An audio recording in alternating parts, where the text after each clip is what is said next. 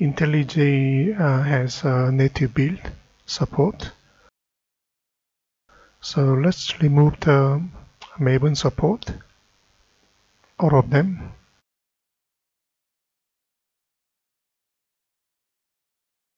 Now we are going to use our own JavaFX library. I assume you have already downloaded and installed JavaFX library. So in my case, it's on the Java directory. JavaFX SDK 19 uh, library. Okay, okay. This is the library I have on my laptop. Apply, okay.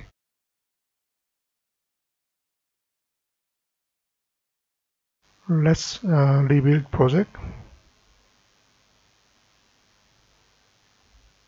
Okay, it built. Before I run it, let me show you. Um, I do have uh, VM options. Okay, previously I set up with the Maven build. Uh, let me make it a bit more readable. So module path to JavaFX library, add modules, JavaFX, and then uh, controls FX ML. Let's run it. Okay, now we are using JavaFX uh, external library. Let's build JAR file.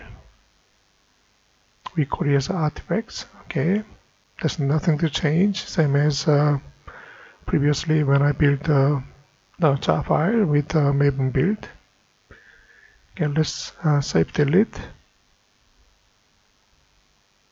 Let's build artifacts, which is JAR file using uh, IntelliJ native build with external JavaFX 19 libraries.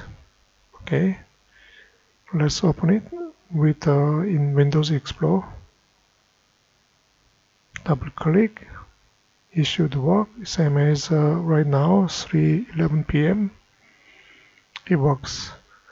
Okay, that's all. Thank you.